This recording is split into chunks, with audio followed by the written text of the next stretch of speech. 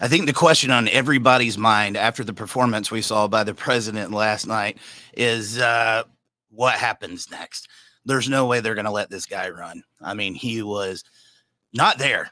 Uh, he could barely make a full sentence. But, you know, the crazy thing about that is I see all the liberal news media sites that are talking about that right now for the first time ever. Uh, something I never thought I would say. CNN did a good job. They did a much better job than Fox News did in the uh, last debate.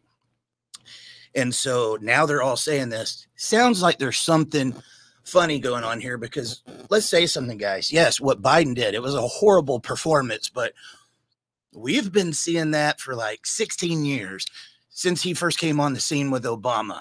And here in the last several years, it just continues to get worse. And when people try to say something, there's always something to make it look like, oh, they're they're disinformation. No, it's not. The guy sucks. Okay. And let me say something before we go into this. I will call out both sides and I will make sure you know that by the end of this. Um, but there's there's certain things that you can't dispute. Okay. And I think what made this debate different than any other debate that we've ever seen is uh, he can sit there and talk about how Trump's going to be the end of our country. He's a wannabe dictator. He's going to take us to World War III and everything. We've lived under him. We know what it was like under him. So you can sit here and predict Armageddon, but at the same time, we remember what it was like. And I have to ask myself, as an American citizen that's growing up with my children and my grandchildren, and their grandchildren will live here. So I am responsible in this generation for making sure I make the right choice to take care of them. Was I better four years ago than I am now? Oh, boy, was I. Gas was half of what it is right now. Groceries are ridiculous, guys. Ridiculous. And they say one of the biggest things that's going to be said is, well, the president does not predict gas prices. Well, okay, let's throw a Republican president in there too. George Bush. He was awful, awful, awful, awful, awful. He was as bad as Joe Biden.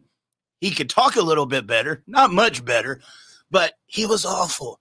George Bush, Obama, Biden, when in the last 20 years, when we had those presidents, gas prices were high. They were almost the same throughout. The only time that changed was during Donald Trump. Donald Trump, we had record low gas prices. I remember going back in the grocery store, seeing like two liters of Coke and Pepsi for 99 cent again and seeing prices that I haven't seen really, guys, since the early 2000s or the end of the 90s. Now I was like, maybe there is a way to get this country back on track.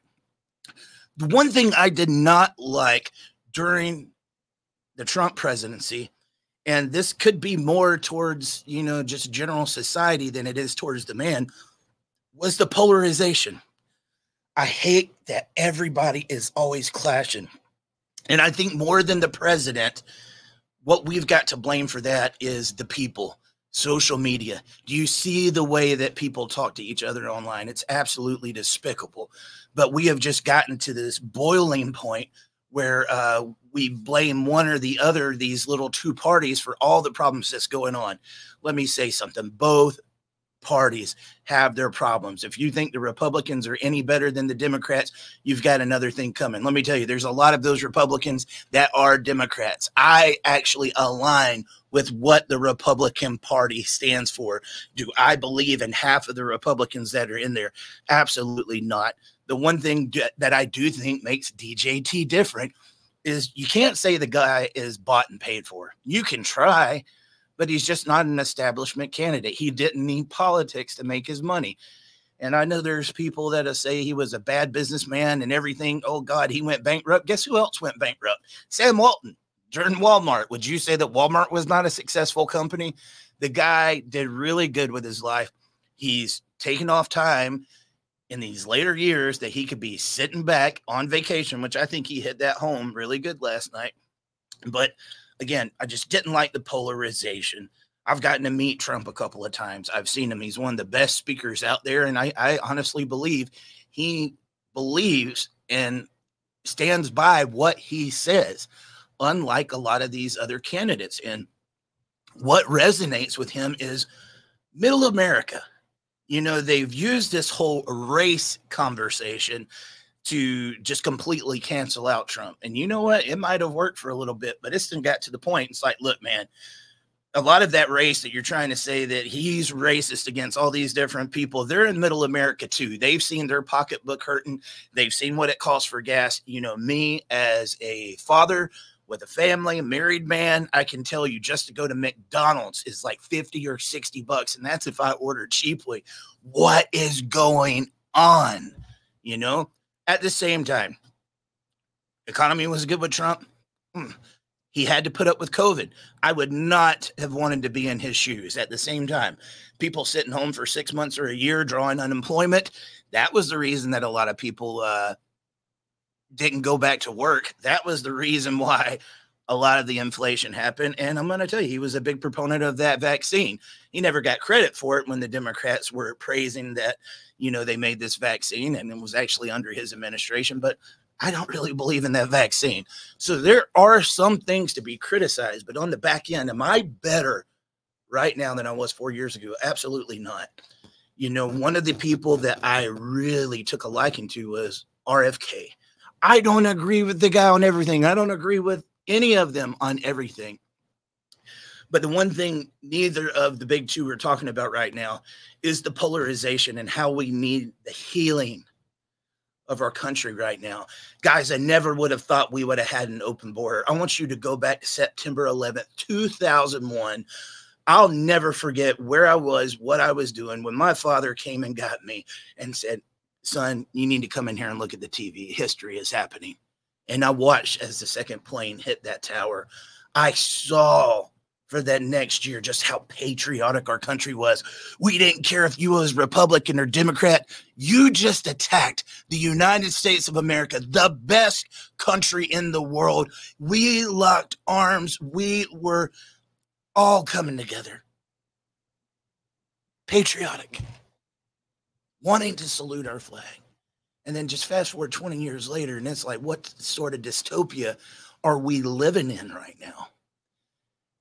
after watching those planes hit that tower, we have open borders with people coming in. You never could have told me back in 2001 that this would have been happening. I don't think anybody would have believed you. Do we realize how dangerous this has gotten? The weirdest thing that I don't remember as much growing up, I know it was there, but not like this, is you've got certain issues, whether it's abortion, immigration, economy, electric cars, climate change. And it's like this party stands for this, this party stands for this. So when you go and you vote, like which one, I honestly believe wholeheartedly this country would be better with no political parties. They should get rid of them because inside of both parties, you have what is called lobbyists, and they have tons of money to make sure they can donate to that candidate because they know their interests will be protected. Now, we look at some of these other countries that's got the cartels where they traffic cocaine or marijuana and some of that other stuff. It's kind of despicable, right? We are the same thing here in the United States, but ours is known as big pharma. We even push ads for it on our TV. And you know what? They have more influence on politicians than just about any lobbyist out there. There is so many problems with our politics, and I believe it all starts with the money. I'll end up getting off track. The name of this video is What Will They Do Next? I'm going to tell you, Biden looked pitiful last night.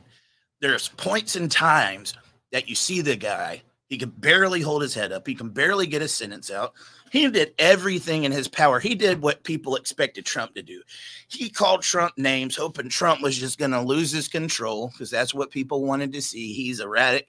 Uh, he can't control himself. But Biden called him names. He cussed several times, and it didn't really faze Trump. Trump did some smirks and stuff like that. But guys, it was horrible. Last night we beat Medicare, right? Uh, there was people that got raped by their brothers and sisters. That was some of the words that he was. He didn't even know what he was saying. One of the funniest moments during the whole debate is, uh, I don't know what he said, and I don't even think he knew what he said.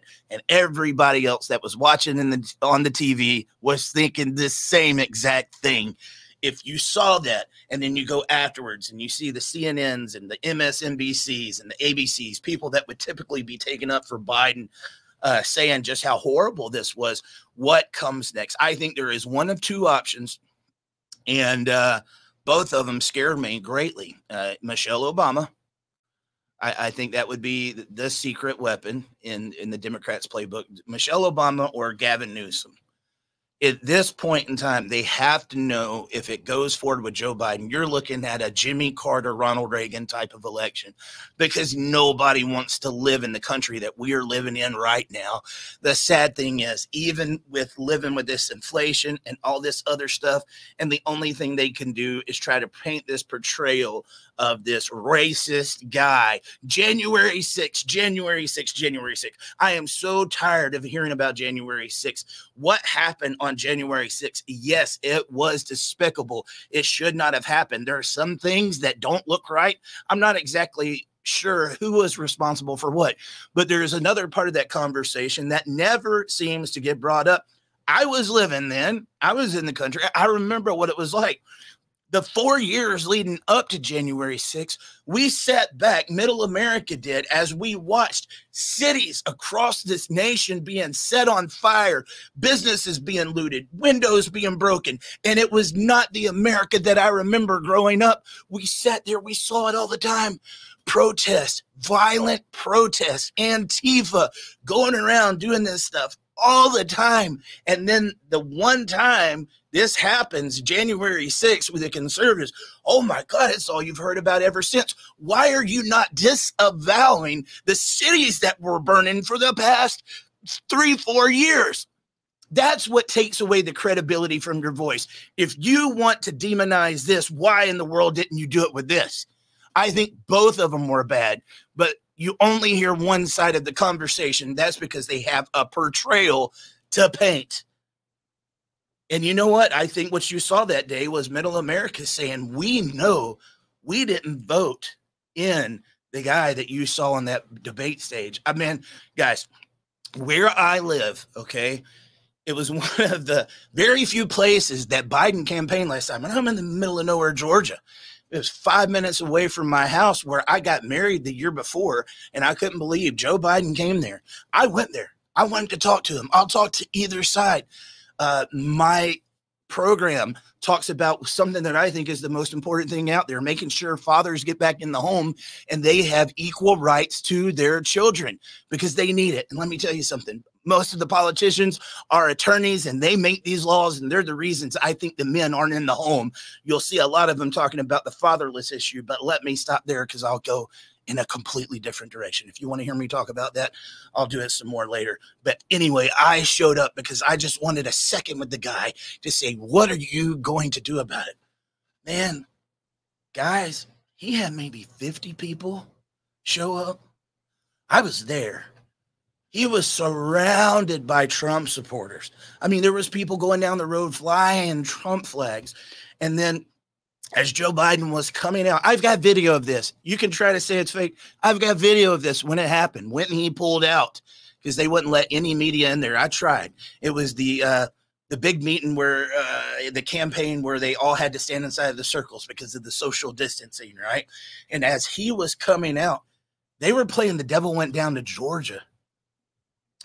Like a week or two after that, um, Donald Trump came and spoke in Rome, Georgia and I was going to go to that too because I wanted to see if I could get to him there.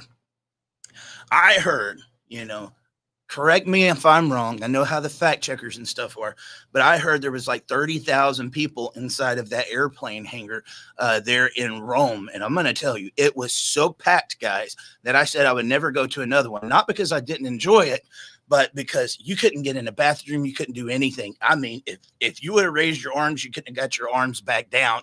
That's how many people there were.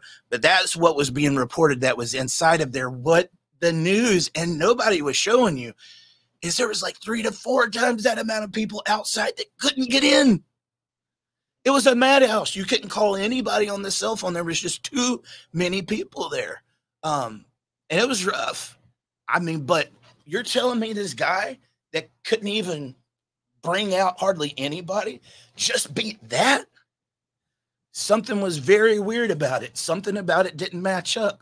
We watched on the election now when we went to sleep that night, it went from here to here.